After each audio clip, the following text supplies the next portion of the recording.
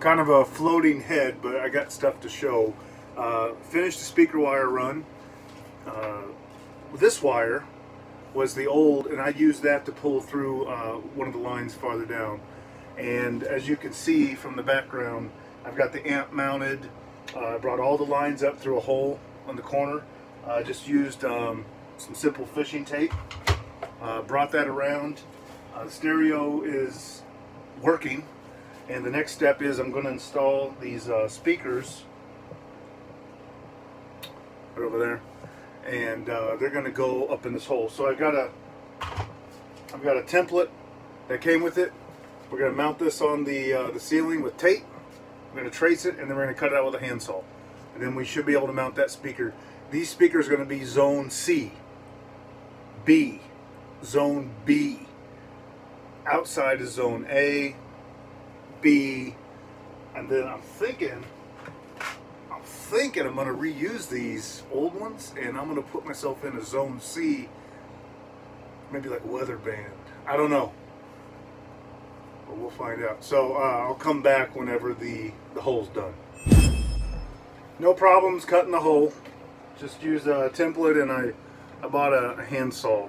So uh, next step, I bought a 8 inch Micca two-way ceiling speakers. It's also got a, a tweeter that you can point. So I'm going to point it down to the guy sitting at the couch. Uh, real simple to install the speaker wires. You got a positive and negative. You're just going to push and stick it in there. And then we're going to run it up into the ceiling. The way that this works is after you pop the cover off, you can adjust these screws and it's going to pop this down. And then you tighten that up against the ceiling. And so that's what we're getting ready to do. Floating head is back. So it, it doesn't work. You can't uh, you can't put this speaker in there. It doesn't uh, it doesn't clamp down. So we did some I did some mods. Uh, basically, I just added a screw. So this is the um, this is actually what goes up against the ceiling on on a regular like you know whatever size ceiling sheetrock it is or whatever you know half inch, and it would fill this gap. Well, I added a screw to each one of those, drilled it. See that? And now what's going to happen is whenever I uh, screw that in, this tip of this screw should press up against um, the real thin wood that's up in the ceiling. So I'm gonna I'm gonna try that, and uh, hopefully it'll work.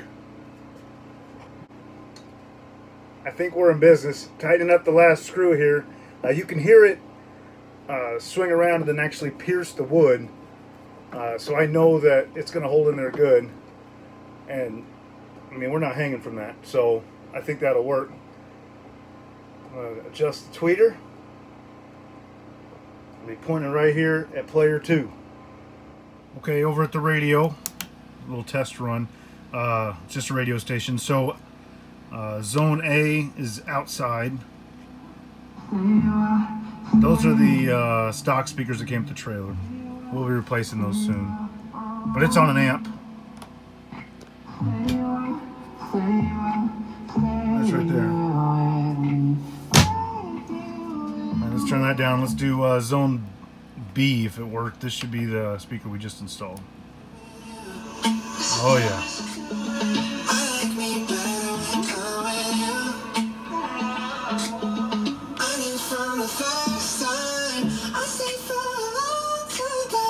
Guy's got a high voice.